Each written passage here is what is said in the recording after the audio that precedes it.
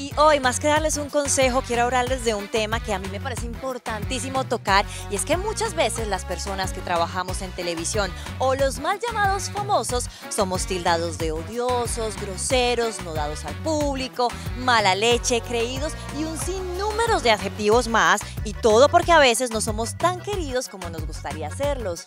Pero lo que pasa es que la gente no entiende que nosotros, por más de que trabajemos en televisión, también somos seres humanos y como tales tenemos nuestros días. A veces amanecemos felices, a veces más bajos de nota, otras veces simplemente estamos irritables y eso no nos convierte en malas personas. Por eso mi consejo del día de hoy es que no ataquemos a nadie simplemente porque tiene una actitud o un mal día.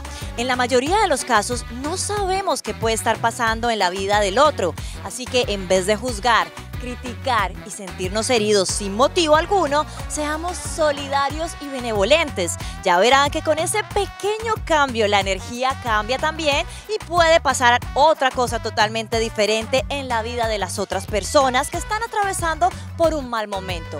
Y esto apliquémoslo también en las redes sociales. Dejemos de atacar al otro porque piensa diferente.